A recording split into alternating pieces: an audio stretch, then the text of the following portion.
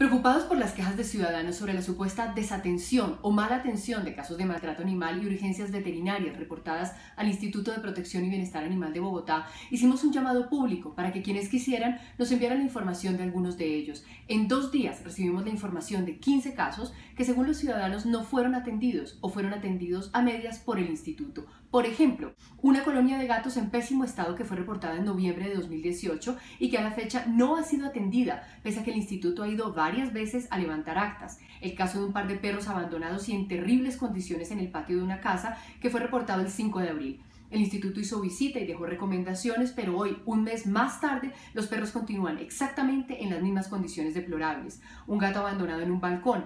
El instituto dejó acta de visita y trasladó el caso a la inspección de policía, pero ni el instituto ni la inspección hicieron nada. Finalmente sucedió lo temido. El gato se cayó. Por fortuna fue rescatado por una ciudadana que asumió todos los gastos veterinarios. Un perro con un tumor y en condición de calle. El caso fue reportado el 31 de enero de este año. ¿Saben cuándo llegó el instituto? Un mes más tarde, el 27 de febrero. La indicación que le dieron a quien había reportado fue que llevara el perro a una jornada de esterilización para que le quitaran el tumor y así lo hizo, pero en la jornada no lo atendieron. Un gatico moribundo en condición de calle que fue reportado el 7 de febrero.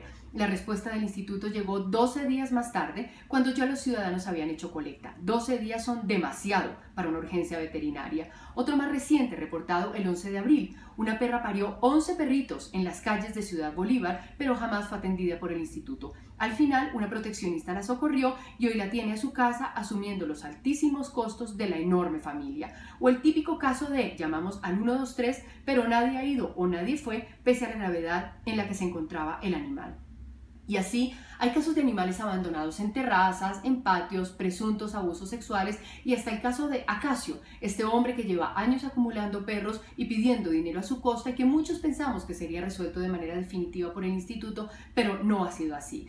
Sabemos que son decenas los reportes de maltrato animal que se registran a diario en Bogotá y que el instituto intenta atender la mayor cantidad de ellos, pero algo está fallando. Hay que revisar los procedimientos, desarrollar la capacidad institucional, inventar estrategias para contener la abrumadora realidad de violencia contra los animales en Bogotá. Así como hemos reconocido que el instituto ha hecho mejoras importantes, también nos corresponde señalar lo que está fallando o lo que está funcionando a medias justamente y siempre con el ánimo de mejorar.